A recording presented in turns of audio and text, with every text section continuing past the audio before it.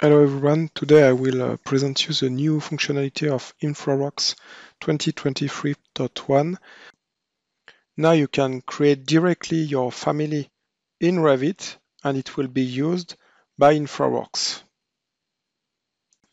I will show you all the manipulation you have to do to do that. So first you will start with your classic template. Okay. You can start by any template, by the way. So here I will uh, create some axes, like usual.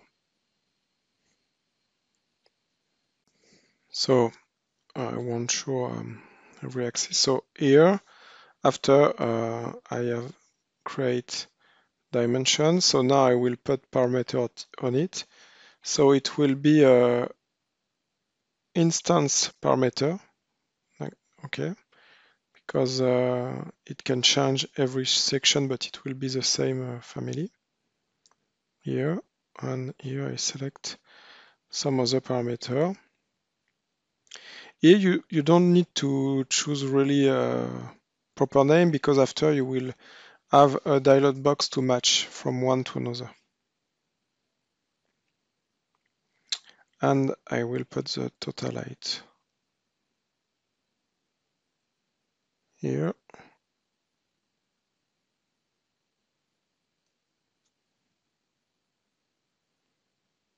Okay. So now I, I uh, will manage to see if the axes are correctly linked with my parameter and then like you see I will uh, create the extrusion here. So after I will create two other parameters to manage uh, this extrusion and I will fix on my axis every element. Now it's done. So now I will set some uh, parameter for the extrusion to control it. So uh, to the center and the total size. And after, uh, like the other, I will uh, set this to uh, the extrusion to my reference plan. Now it's done and I locked. So I will verify uh, that the parameter is correctly linked to my geometry like this. So the idea is to, to check uh, every parameter which is needed to see if it fits uh, what you want to achieve. Here I will switch uh, the category to bridge uh, pier. Here maybe I could have choose a pier wall, but I keep pier, like, like you can see. And of course it can host rebar. I will put some formula for the sample. Uh, here I will set that the, the pier is in the middle of the plan. So I divide by two uh, this length here. So now I will move to InfraWorks. So I will open the style palette. And in the style palette, in uh, bridge parametric model for piers, I will add this uh, RFA file.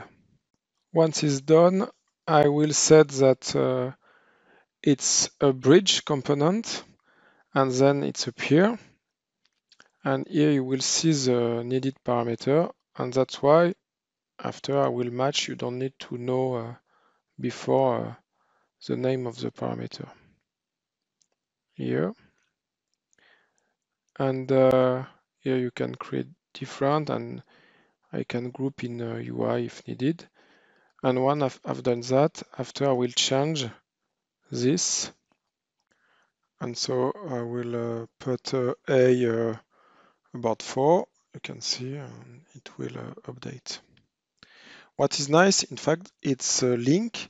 It means that uh, if you update the Revit family for example you create void or something like that after you just have to uh, update the family inside InfraWorks based on this uh, Revit family and it will all update and all the components uh, inside you have already set stay set. So here I create, uh, I will copy it, not with an array, I will copy it directly and to have more, yeah.